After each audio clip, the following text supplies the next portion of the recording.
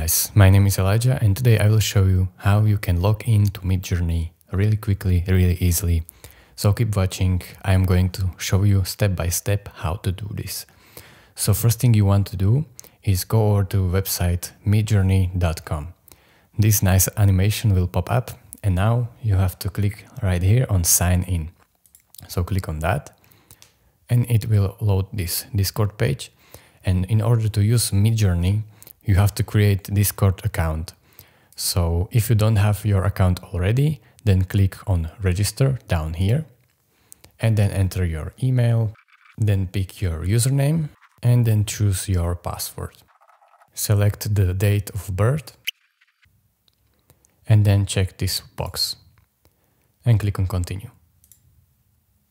As you can see, too many users have this username. Please try another.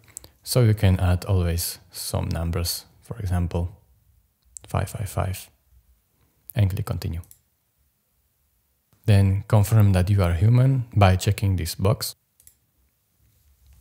Then it may ask you to verify you are human, so let's say. And if everything is alright, then as you can see an external application, Midjourney bot, wants to access your Discord account. So you have to authorize this, click on authorize, and as you can see, it looks like you try to access with an unverified Discord account. Please go through the Discord email verification process and try again. So if you want to use Midjourney, you first have to verify your Discord account. So go over to your Gmail, sign in, and then find this Discord email verify email address for Discord. Click on that and click on verify email. Now, as you can see, email has been verified. Continue Discord. Then you can close this and go back to Midjourney, click on dismiss and sign in with Discord.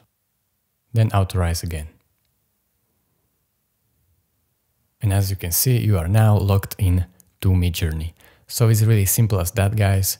Thank you for watching. If this video was helpful to you, consider subscribing and liking this video and I will see you in the next one. Bye.